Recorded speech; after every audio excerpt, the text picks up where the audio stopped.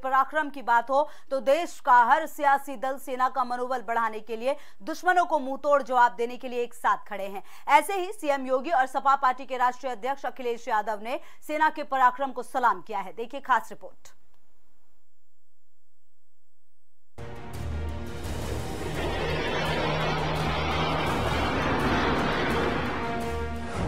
पुलवामा का सबसे बड़ा बदला सेना के पराक्रम से पस्त पाकिस्तान। सीएम योगी का पाक पर हमला। अखिलेश का सेना को सलाम। पुलवामा हमले का सबसे बड़ा बदला लेकर इंडियन एयरफोर्स ने देश का सीना चौड़ा कर दिया है।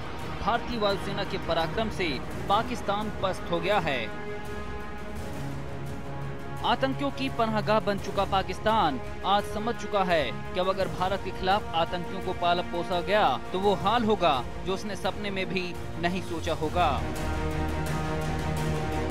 सेना के इस पराक्रम पर हर कोई गर्व महसूस कर रहा है। सीएम योगी आदित्यनाथ ने भी सेना की इस कार्रवाई का भरपूर समर्थन किया और पाकिस्तान को चेतावनी दी कि अगर आगे से पुलवामा जैसी कायराना हरकतें हुई तो हाल इससे भी बुरा होगा।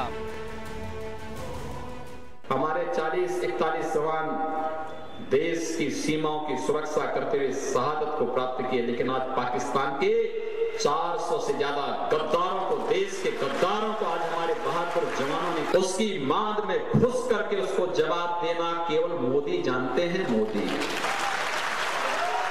बाकी कोई और नहीं दे सकता।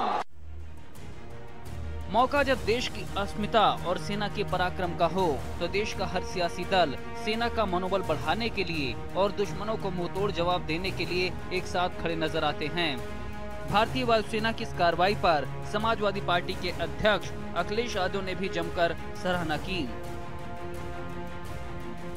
देखिए हालाँकि आज माहौल हम शहीद के यहाँ हैं वो माहौल है दूसरा सर्जिकल स्ट्राइक हुई है एयरफोर्स के पायलटों ने जो कैंप्स या जो ट्रेनिंग चल रही होगी वहाँ ख़त्म किया है। नहीं नहीं नहीं। तो ये हुआ है ये अच्छी बात है। पाकिस्तान को करारा जवाब देने के बाद भारतीय सेना का मनोबल या कहें जोश पूरी तरह से हाई है और देश भर में भी माहौल दीपावली जैसा है। ब्यूरो रिपोर्ट, भारत समाचार।